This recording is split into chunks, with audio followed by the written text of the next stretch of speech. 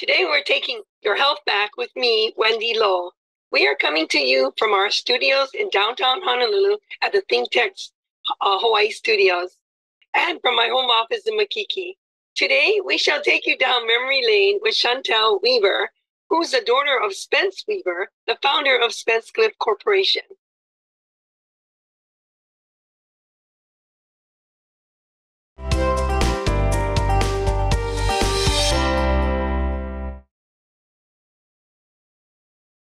Aloha and welcome, Chantal Weaver.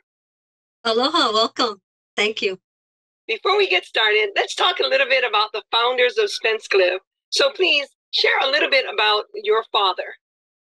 My father, Spencer Fullerton Weaver Jr., and his brother, Clifton Stokes Weaver, co founded Spencecliff Enterprises in 1939. Wow, lots of history there from 1939 they started this but i understand that your father didn't get his start in just restaurants in the beginning. There must have been another passion in his career. What did he do before he ventured into restaurants? Well he was a graduate of yale university and he also went on to college. And his father was from new york and so i think he followed in his father's footsteps in real estate. Wow so share with us a little bit about what what what kind of real estates did he dive into? I think my father was interested in business development somehow, and he was able to, you know, find this niche in Hawaii and turned it into a restaurant corporation. Wow! I know you have your your family's name on many um, very famous hotels in New York and a likes of. Just give us a few um, hotel names that your family is involved with. Well, my grandfather and uh, his partner Leonard Schultz of Schultz and Weaver designed many of the um, famous landmark hotels, such as the Royal Hawaiian Hotel, the Waldorf Astoria, and many others as well. I know that you were in New York and um, you went to visit one of the hotels. And tell us what what was that like? We wanted to visit the Park Lane Hotel, which is one of the hotels that my grandfather not only owned, but he also lived there um, after they lived at the Waldorf Astoria. And it was it was a nice experience to see what um, my grandfather actually built, and it brought you back into a different era, the era of the Park Lane Hotel. Yeah, what a beautiful era and time that was, yeah. with all the fancy dresses and all the pomp and circumstance of just going out and dressing up don't we just miss those days? Very much so. right? I mean, like here in Hawaii, dressed up is um, nice pair of slipper versus versus stockings and nylons and high high heels and just the likes of I love those that era. I love the day that we yes. could dress up like that. And wow, I bet you when you walked into that hotel, you just could feel all the history and all the romance as well in that hotel. Exactly. Thank you very much for yeah. reminding me. So, um, I heard that your father had a liking towards hot dogs, and I didn't know this until uh, I read a little bit and I heard you speak on it. But I believe that there was a company called Swanky Frankie. So please share with us what uh, Swanky Frankie is all about. Well, the story that I had heard is that my father came here around the world with his father Major S. Fullerton Weaver, the architect, and they fell in love with Hawaii, he and his brother. And my father remembered the beaches, and there was no one servicing the beaches at that time. But yet he did remember that there were some hot dog carts in New York that were servicing the longshoremen. So they bought the franchise of six stainless steel hot dog carts for $30,000 in 1939 and brought it to Hawaii. Wow. And so where were the swanky Frankie hot dog carts? Um, where were they parked? They were actually parked at the boarded up Mushroom Drive-In on Ena Road, which my father and his brother purchased, I believe, to be able to service those hot dog carts so they could replenish them when they came back from, you know, selling all the hot dogs and hamburgers and drinks at the beaches. So that was, uh, so they managed um, the, the, the carts or they supplied other carts? They managed the carts and resupplied, wow. restocked those carts. Now, if anything, Chantal, I think you should bring back Swanky Frankie. I what a catchy name. I mean, it sounds so cool and so swanky. You know, it's like wow, classy hot dogs. And I think you shouldn't have vegetarian hot dogs, hot dogs with sauerkraut and all the likings of. Everyone goes crazy over hot dogs. So true, because you can put anything on it. Yeah, and make it any from any country or any you know any level. Plain hot dog, just ketchup, ketchup and mustard, but you can swank it up if you want to, and that's what this is all about. So that would be something maybe you and I should talk about. we, we can. yeah. I mean, that's your family legacy. This is where it all began, right? Yeah, and now, you know, lunch wagons are the thing. Right. So Right. I don't know if my father started that lunch wagon thing back in 1939 or not. Right. But wow, what history. And people would come from all over the world just because of the name and the history behind it. And we could glamorize it. I mean, look at you, Miss Glamour, Miss Glamour Tushy over there, right? You could be on the cover girl holding that hot dog. People would come. Yeah. Thank you. so I know there are so many, many um, restaurants. I believe there's at least 50 or more that your family has started. But one of my favorites, of course, is the Tahitian Lanai. And um, I know it was one of the flagship uh, restaurants for a long time. Can you share with us maybe one of your fondest memories of Tahitian Lanai? I think my fondest memories is that um, there was a bungalow or a hut named after me, Princess Moearii, and it was an open air area with a swimming pool, and you could look out over the lagoon. So I just love that outdoor feeling, and they had wonderful Tahitian lanai banana muffins, Yes. which you've tasted, Wendy, and also delicious popovers. yes. So not only did you have the ambiance, but you also had the, um, you know, the food, and you also had that. Um, well, my father and my family went there a lot. I love I love just the whole idea of those bungalows, those huts. And we used to sell those huts out like crazy. Um, I say we because I did work there for a short time and I just loved Yeah. every minute. And believe it or not, before Tahitian Lanai, I was very shy and quiet. And um, I got a lot of training from Tahitian Lanai because it really taught me to embrace who we are as a local, locals, as well as embracing the visitors that we had or that came from all over the world to just dine at the Tahitian Lanai. So lots of fond memories and growth for me as well at the Tahitian Mhm. Lanai. So I know that you guys, uh, of course, Tahitian Lanai is Tahiti from Ta- the name is from Tahiti, and I know that um, there's a lot of story behind Spencecliff and Tahiti. Tell us what is the relationship be- between Spencecliff and Tahiti?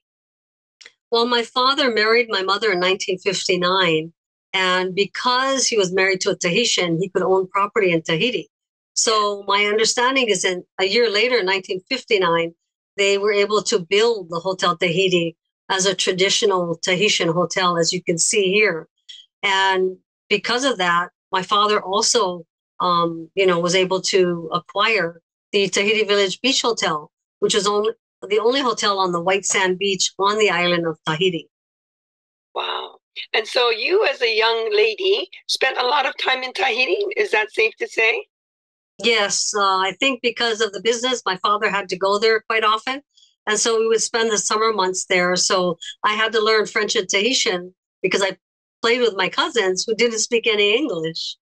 Wow.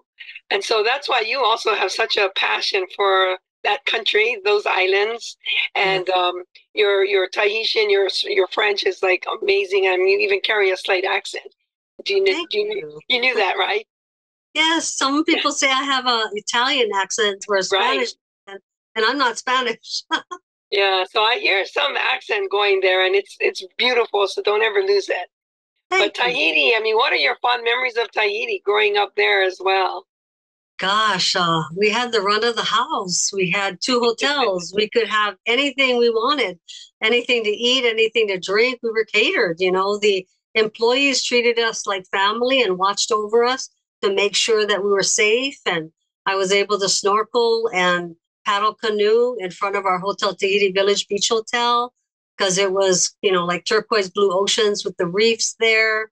And um, just a lot of good memories. Just being able to play in a safe environment. What a great, great um, experience and childhood you had, and um, that that's probably why you're so balanced and successful today. Your upbringing was solid. So I know that your father is a true businessman. I've met him many times, um, and, but he cherished his family so so much. Was he gentle? Was he a gentle and loving father?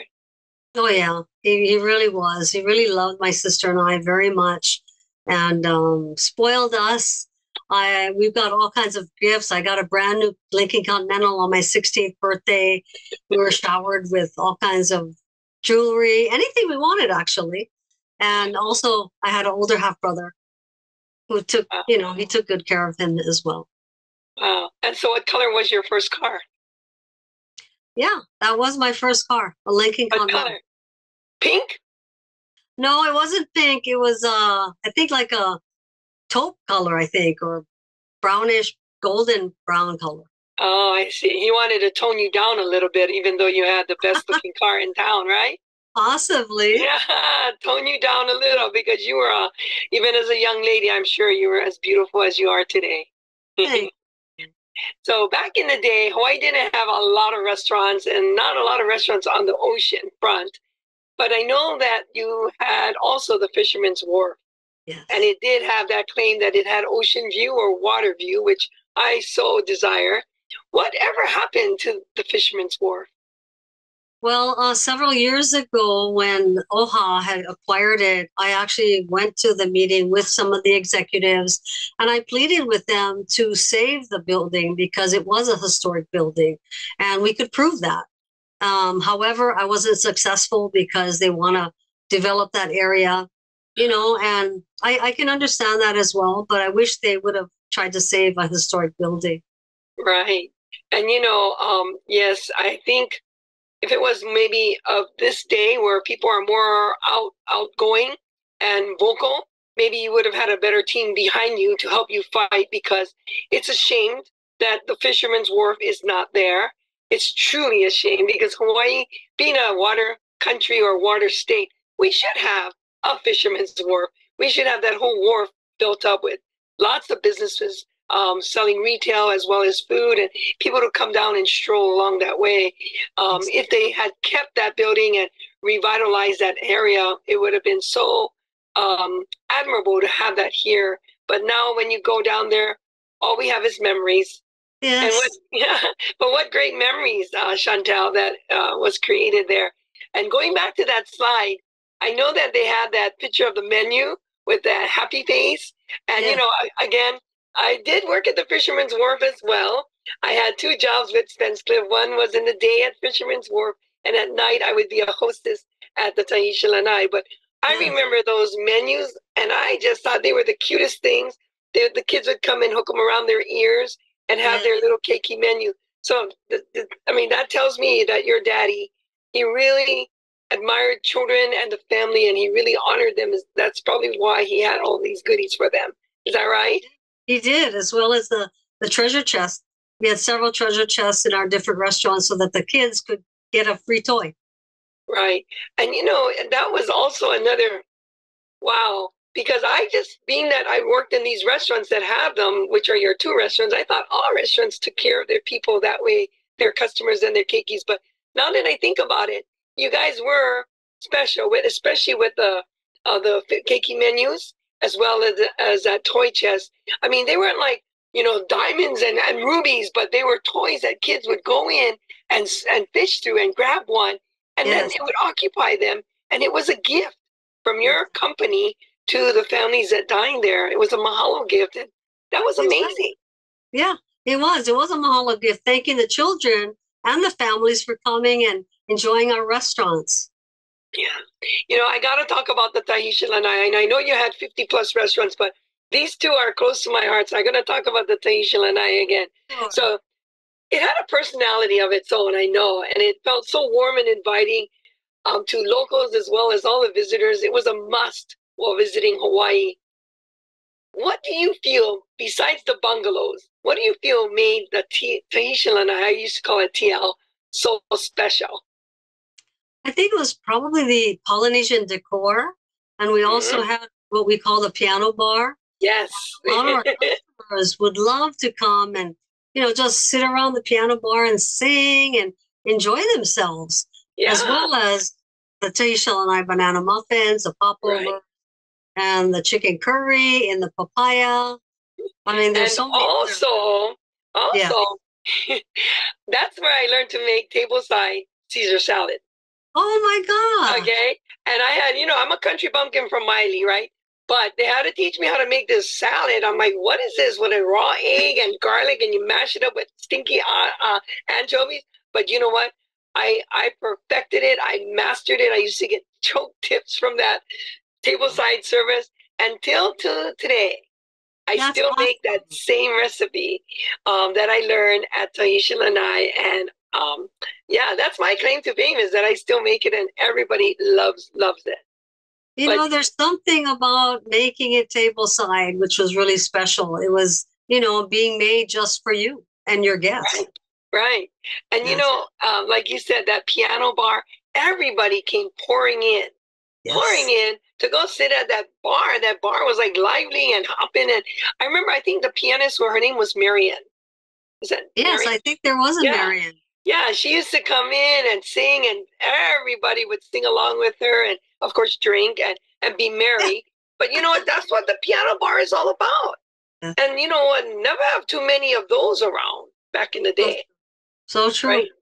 So you guys are cutting edge. I loved it. So again, mm. I know with over 50 restaurants with all very different culinary selections, you've had at least one steakhouse. So tell us about the ranch house. Oh gosh, the ranch house, that was a family restaurant. Yes. Um, and and I think the reason why my family took it over, because it used to be M's Ranch House, is because in the Aina Haina area, there really wasn't any place for families to go. Right. And the families would love coming there. I remember the treasure chest. I remember the um, breadsticks that they would have on the table Mhm. with a mush, uh, marshmallow sauce that you could dip those uh, breadsticks in, which occupied not only the children, but the adults as well. Right. Yeah, and we also had connected to that the bar area, and we brought in a lot of very famous um, entertainers. I remember uh, Skippy and, and Israel Kamakawiwo'ole, the Makaha Sons, I believe it was, Lumana, and so many other entertainers as well. Yes. And I know your papa, he loved his employees. My mother worked at Tops Waipahu. She Oh. probably was there from the very beginning until she um, left and went to heaven. But she Oh. worked there. I think she has all those diamonds on her pin, like you said. And that was cutting edge back then as well, that they would give each employees after, was it 20 years or? Uh, I think a- after five years, they got Five the years. pin, the gold they pin. decorated it with diamonds or some Yes. So I still have it. In fact, the next time I see you, I want to show you that I kept it very dear to my heart. Yes. So Spencecliff, um, they supplied so many great memories to so many families, and I'm just I, knowing you, and I know your heart to continue to revive it and keep it alive. Um, I'm gonna be right there by your side because I I'm Thank part you. of that that legacy. So um, I know your passions for your dad's legacy lives on, but what's next for what you want to do with Spencecliff? Well, I'd like to honor his memory, and doing so, I'd like to create a documentary to honor his legacy Mhm. with all the uh, 50 plus Spencecliff restaurants, but more importantly, to honor the employees such as yourself and your mother and others who made Spencecliff what it was. Because without all of you and our customers, our loyal customers as well, Spencecliff wouldn't have become as great as it was. Mhm. Yes, and it was great. So, how about? I know you you talked about uh, a documentary. How about you? Yeah. Are you preparing yourself to write a book? Yes, I'd like to write a book as well because I've already started a PowerPoint. So why not, you know, document all of the memorabilia that I do have? Yeah, but girlfriend, your PowerPoint probably had like twenty or thirty shots. You probably have a few thousand shots that you are going to have to thumb through. I mean, thousands with all the years of memories of people that came into your lives, into your restaurants from all over the world. Um, it's it should be phenomenal. This book and even the documentary. And if there's any way we anybody out there can help Chantal to put this into a documentary, I think this is well. Uh, it's the time is is now that we get this to um, come to fruition. Thank right? you so very much. I really appreciate that. And you know, um, Chantal, I know a few years ago you had created a reunion with the employees. Don't you think it's time for another one? Because we're still out there, we're young and vibrant, and we still have the memories. It's so good to just sit down and talk story with everybody. So, can you tell us, is that in the planning? So that sounds like a great idea. I wanted to um, launch my documentary or what have you, maybe possibly by the end of the year, so I can invite former employees and former customers to come and just, you know, relive that era that was so wonderful that I miss even to this day. Right. I think that's a great idea. So again, any Spencecliff uh, workers uh, out there, I when we when you get the word that Chantal is organizing this event, and what you can do, Chantal, is make sure that we have um, video photographers there so that you'll take each person not each uh, as many as you can and yeah. sit down and talk story with them and That's you're going to hear more stories from their hearts you may learn a thing or two more that you were not maybe exposed to. And yeah. um, just let them uh, share all their their great memories of what Spencecliff had to offer to all of us. I would love that. Yes. Thank so you. tell us uh, one story that I want you to share because I just learned about it about your one of your first um, I want to say is it a hotel signature property that was it, it went it went in the wrong direction because of some political figurehead. I just learned about this the other day from you. So can you yeah. share uh, a little bit about that?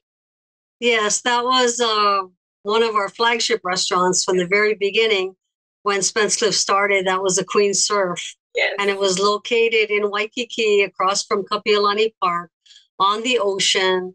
And we had the Barefoot Bar upstairs with Sterling Mossman and Varroa Tiki and many other entertainers. I believe even Don Ho and also Kui Lee uh, started their careers there. We had Tavana in the Garden Bar. We had Hilo Hattie. I always remember Hilo Hattie having a raccoon tail she was the star of our luau.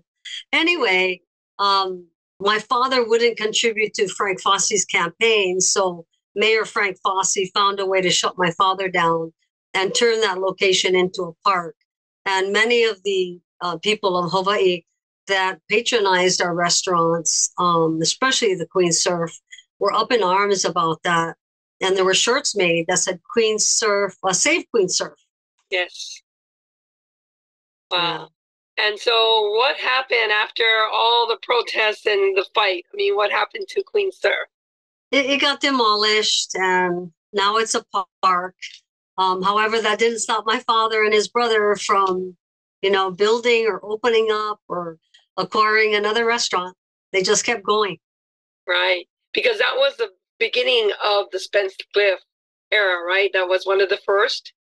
That was one of the first. I believe they also had the um, terminal restaurant um, at the airport. They also serviced the uh, military because we owned a bakery. So we were able to provide, I believe, a lot of roles for um, and other things as well. I'm sure for the military. Wow. And people may not remember or know, but you had a major catering company. I remember Ala Moana um, Shopping Center. They, they had yeah. the banquet halls.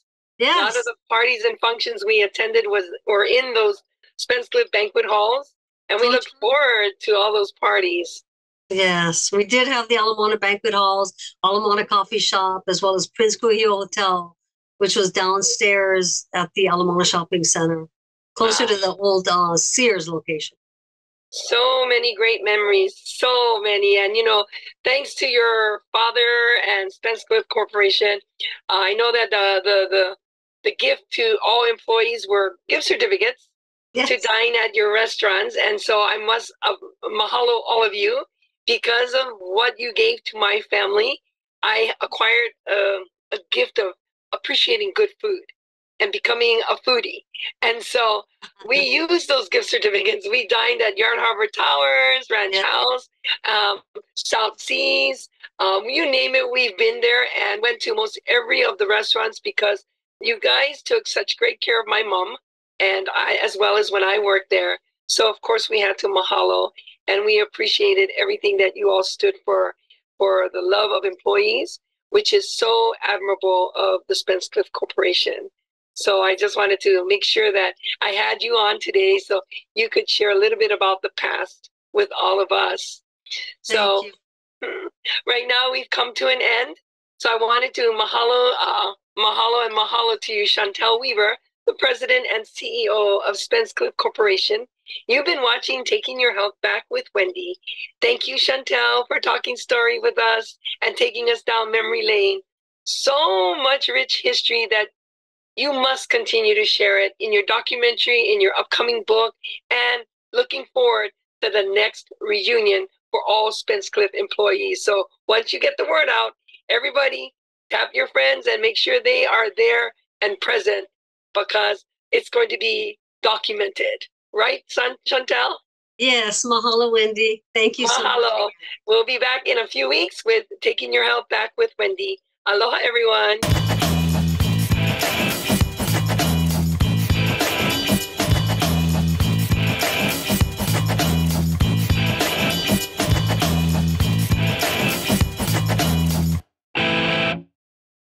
Thank you so much for watching Think Tech Hawaii. If you like what we do, please like us and click the subscribe button on YouTube and the follow button on Vimeo. You can also follow us on Facebook, Instagram, and LinkedIn, and donate to us at thinktechhawaii.com. Mahalo.